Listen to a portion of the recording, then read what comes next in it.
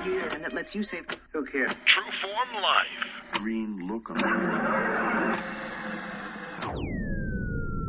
Welcome to Exploring Mind and oh. Body with Drew Tadia. Drew is an expert in nutrition, fitness, lifestyle, and more. And he wants to help you live a healthier, longer, and more active life. Now, here's your host, Drew Tadia.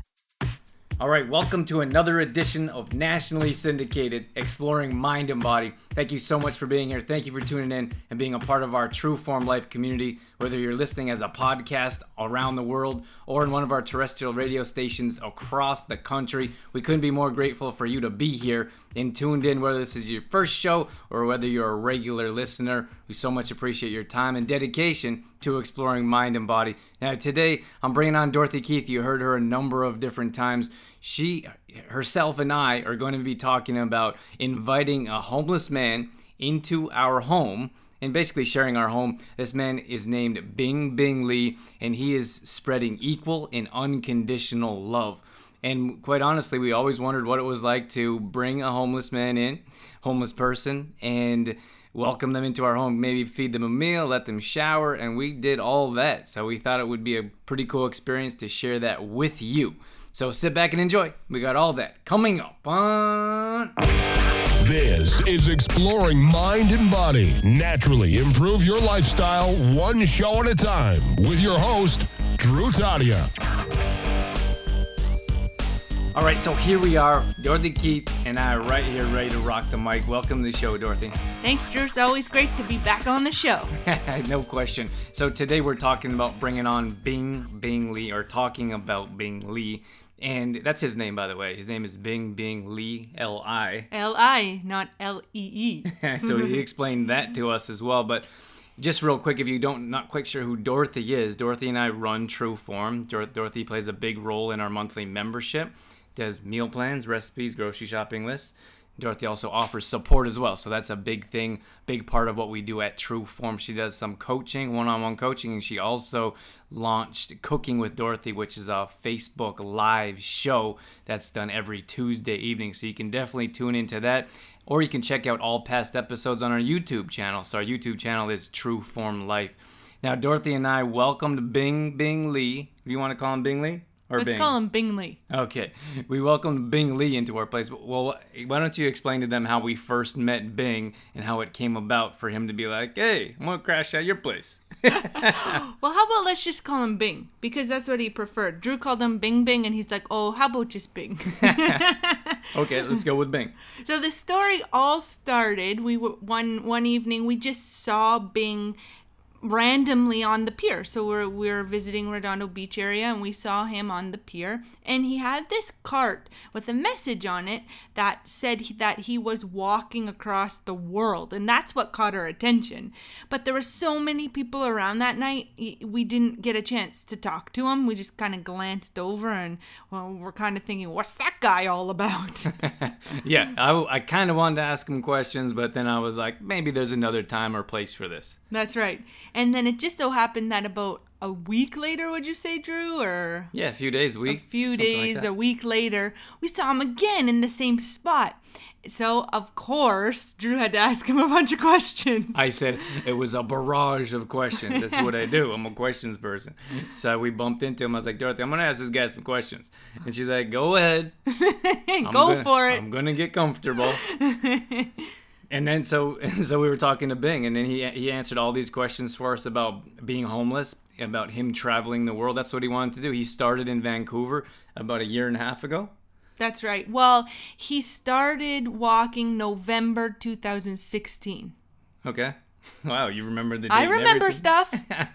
okay, so November 2016, and he's dri- and he's walking down the West Coast, which we actually drove, and and that's what he wants to do. He wants to spread love. He wants to let people know. Sorry, equal. He's very particular about this equal and unconditional love that he was sharing, that he wants to spread, and he thinks that money is kind of evil a bit or it's he said people weren't supposed to or meant to use money because it doesn't bring about good things in the world and what else dorothy Well, he had he was very, I guess, serious about his message, right? About passionate. Passionate is a better word than serious. Yeah, very passionate.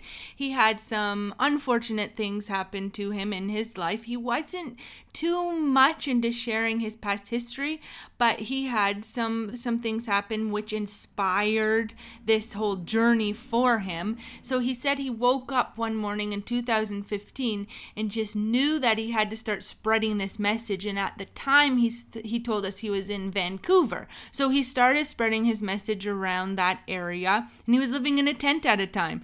At the time, he had a, had his cart with the message on it and spreading spreading all of spreading his unconditional love.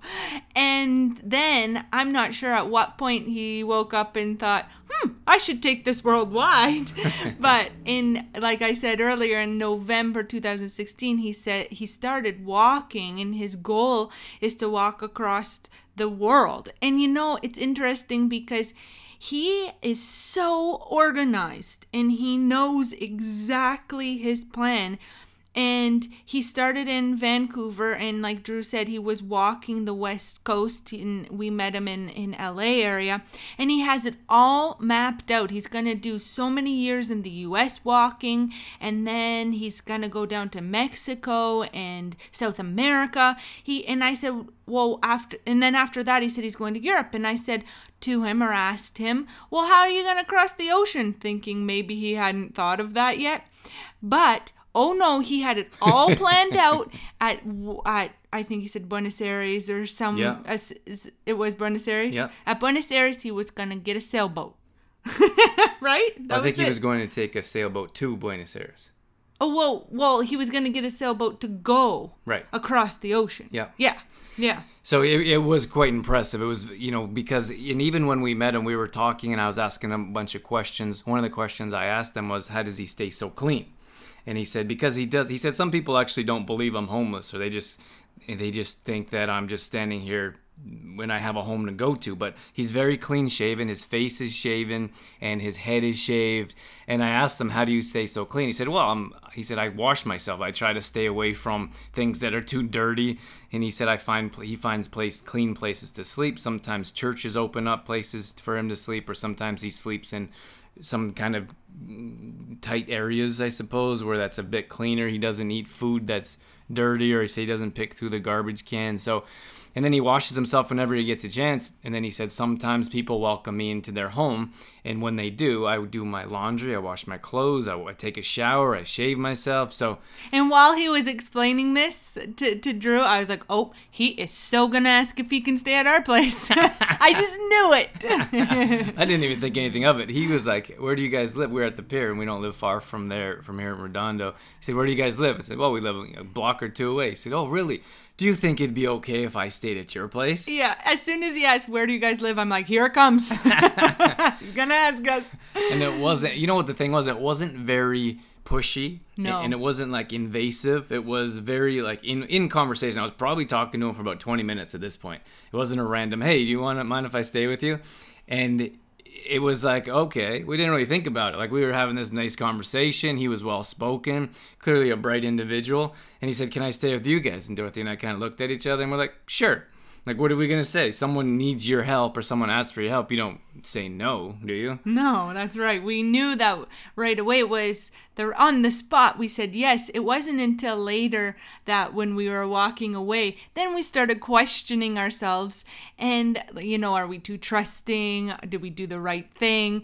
And I looked at Drew and I said, You know, I'm almost sad that we're even questioning our decision because of the world we live in. We have to think about these things like safety and so on.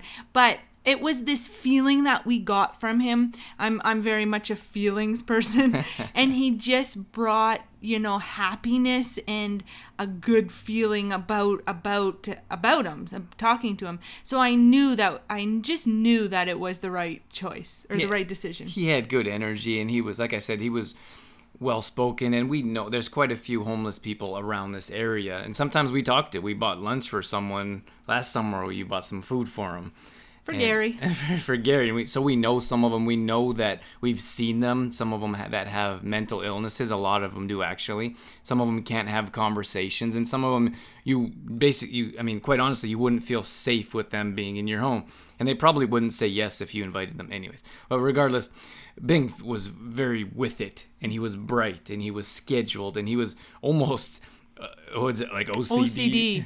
He probably had a bit of OCD going on because we'll explain his organization here shortly.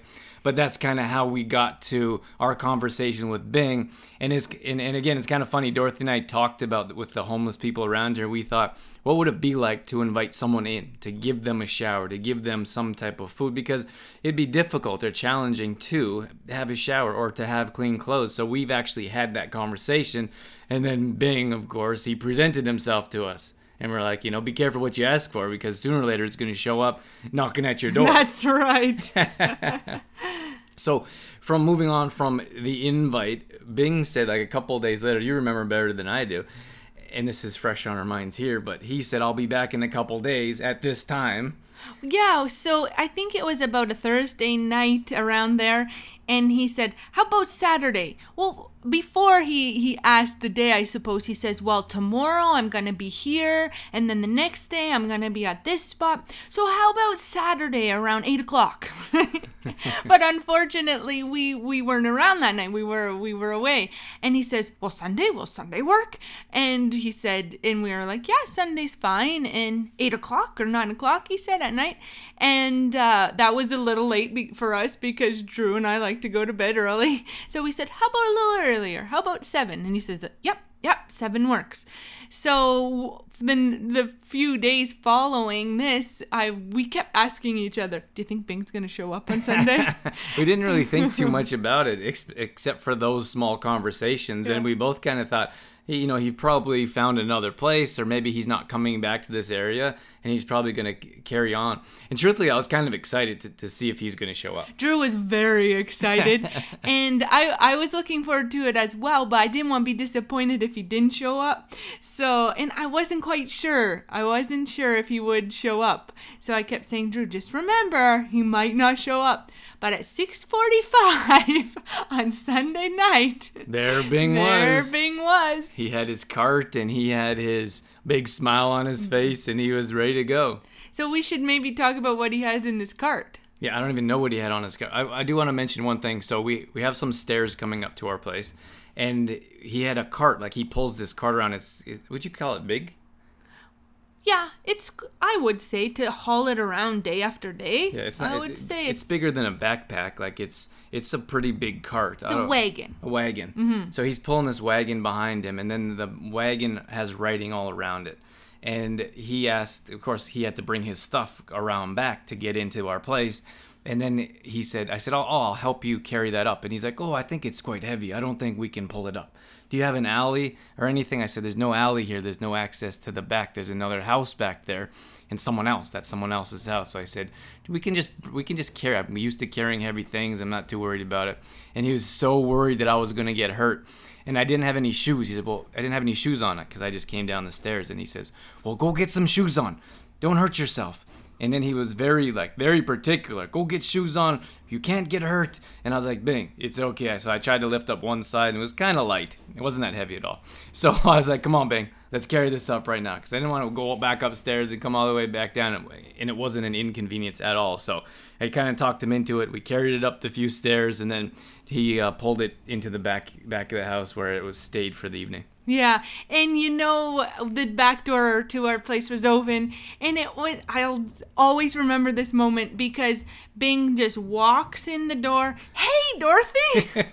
like walking up the stairs to to our place because we're on the top floor, and he just walks up really proudly and just really happy, Confidently. confidently, and just says, "Hey, Dorothy, how are ya?" he remembered our names right away. Oh, yeah. Like he said uh, he's when I was walked in the back door when I heard him. He says, "Hey Drew, I'm here," and I said, "Bing, you made it. Thanks for coming." Then I remember him saying your name too. I I think it's so important. It's so welcoming, and it means a whole lot more. Like he's staying at our home. It could have been like oh, I stayed at all kinds of people's houses, Hmm. and I don't remember. Not gonna remember everyone's name. But he like came in confident, confident, proud. Like, hey guys, here I am. Yeah. So we thought that was and he definitely had an agenda. Like he knew exactly what he was doing, and we just kind of let him take.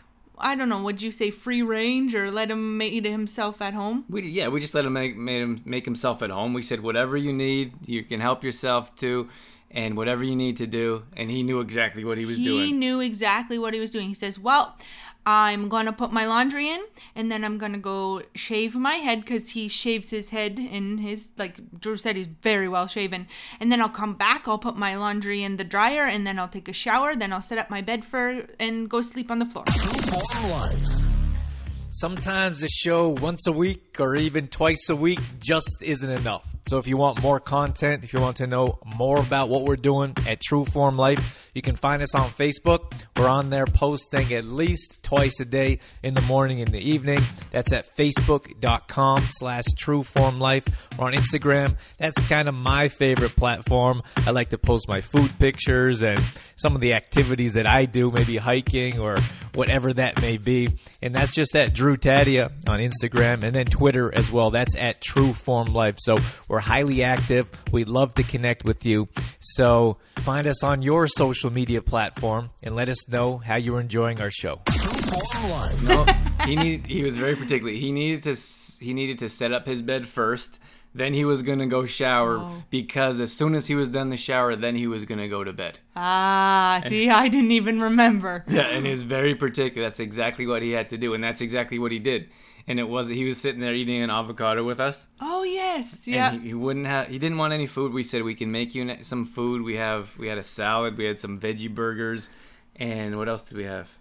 Oh, Rice. rice, and mushrooms and onions, and that was our that was our dinner. And we said you're more than welcome to have have dinner. He said no, you know, and he, he was very particular about not having too much or not taking too much.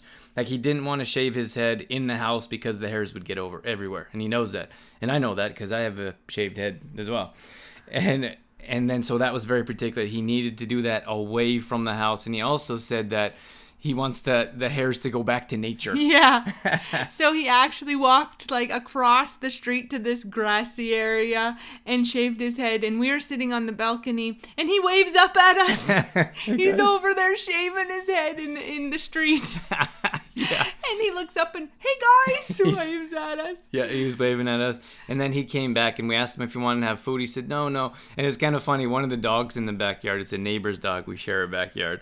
And one of the neighbor's dogs took his avocado. Oh, yeah. And then was kind of put it in a in a sand pit. And it looked like he was going to bury it or save it for later. Remember Ryan? We have a friend that says that her dog buries avocados.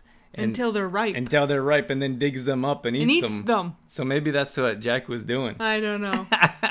it's pretty funny, but he wasn't mad. He said, "I can't find my avocado," and he's looking around. And then I helped him look, and I was like, "It's over there in the sand pit." And he wasn't mad or upset or angry. He just said, "Well, I guess I should eat that tonight before it goes bad." yeah. So that's what he had. And he didn't want to take too much. He said, "I had lots of food today. I don't need a full meal this evening." So he said, "I'm going to sit here and eat this avocado so it doesn't go bad."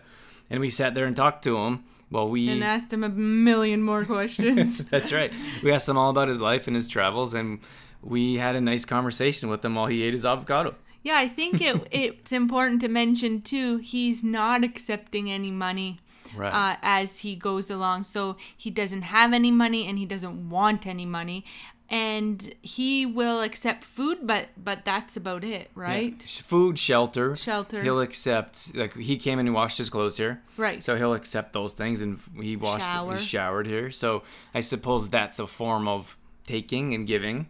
And then, yeah, he wouldn't take any money. And even he says when people offer to give him money, he says, No, I'm sorry, I can't take your money.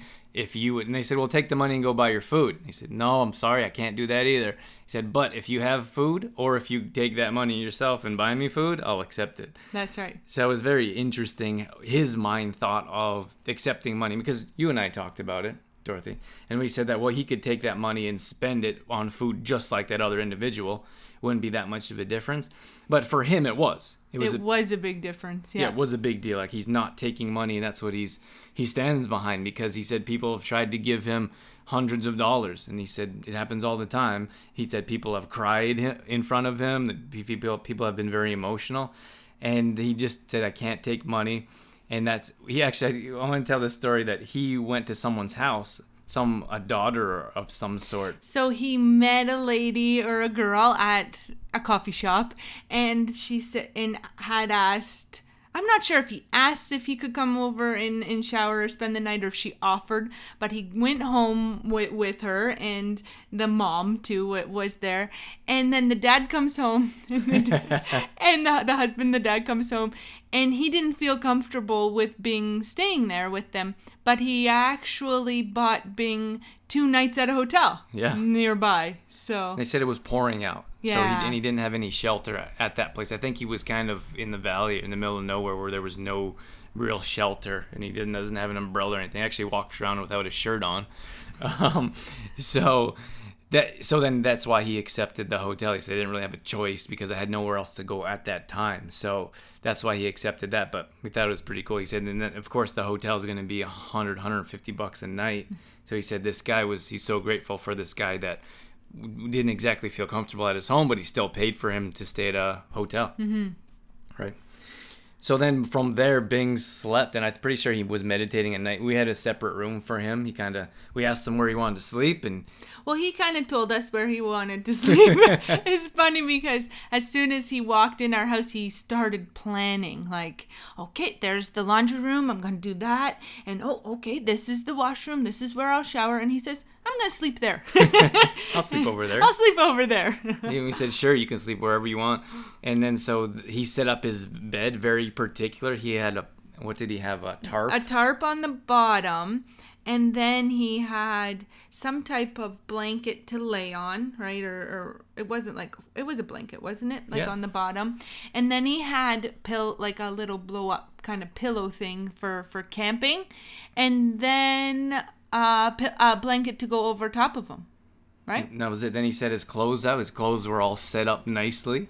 And then he, that's basically, then he took a shower. He's very particular. He wanted to set up his bed. He wanted to take a shower. So he was clean before he slept on our floor. That's right. And that, and we thought that was, you know, little, that was ex- extraordinary. Like people, other people wouldn't think of that, I don't think. And you know what I thought was, or that had touched me, was that we told him when we met him down at the pier, we're like, yeah, sure, you can come over, but we don't have a couch or like, you know, we have a small space.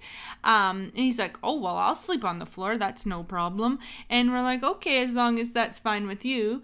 And then he gets to our place and he's, he was like, Oh, you have carpet. Much nicer than sleeping on the concrete. he was excited that we had carpet. So Yeah. I was like, wow.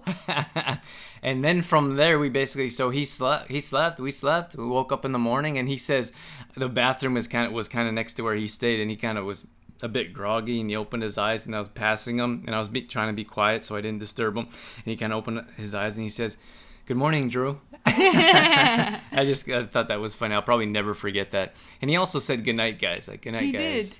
when Yeah. we said when he said good night so or when right before we were going to bed. That's right. and then we so we got up in the morning and we asked him if he needed anything, if he wanted anything. He said, "No, I'm going. Know where I'm going. Uh, once I pack up, I'm going to go to Whole Foods." And sp- he wanted to spread the word there. He said sometimes people give him food there as well for the day. So he had a plan. He knew exactly what he was doing. We did a Facebook Live interview. I said, "You want us to help you spread the word on Facebook?" And he said, "Sure." And you can find that. That's at uh, facebook.com slash trueformlife. That's where our live videos go. That's where Dorothy does her live cooking with Dorothy show It's as well. so much fun. So Dorothy will do that for 30 minutes and does all kinds of different cooking snacks. right now, we're doing a series with Complete Truth Protein actually and baking. So we're doing all kinds of healthy baking recipes in there. Okay, yeah, so you can definitely tune in there as well. But that's where we did that video, and I also did a. I put the camera on Bing as well, and he said it's okay for now. He said once they start spreading the word, I don't think he really wanted to be famous, or he didn't really want to be on. I don't know. He was talking about all kinds of stuff, but he didn't really want to be on on TV. But he said right now, while he's spreading the word, he'd be happy sharing his message to as many people as he can.